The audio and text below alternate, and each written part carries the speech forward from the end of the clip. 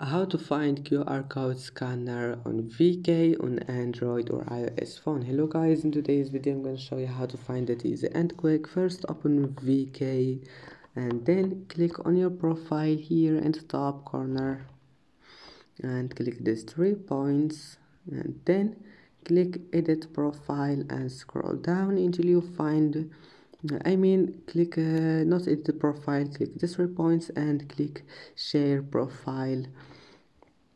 And here we'll find QR code click on it and then click QR scanner and that's it.